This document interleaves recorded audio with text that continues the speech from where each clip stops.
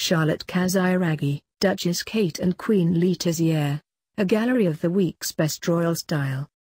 All eyes were on Charlotte Casiraghi as she stepped out in Paris for the French capital's couture shows.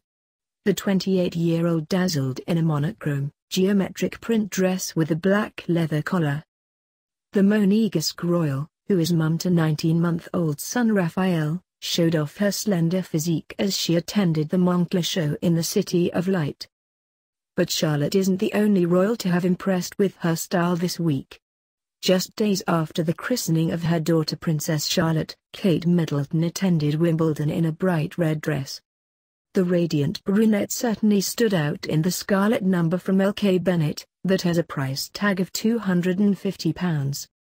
She paired the frock with her trusty nude pumps and a small leopard print clutch from Diane von Furstenberg.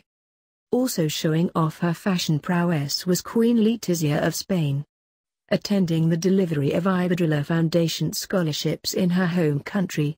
The 42-year-old kept it simple and chic in a taupe leather mini dress with blunt cut edges. It's been a busy week for Letizia, who also helped host a reception for the president of Peru. She welcomed the president earlier in the day sporting an elegant black dress that hugged her slender physique, before changing into a stunning purple ball gown for the evening festivities.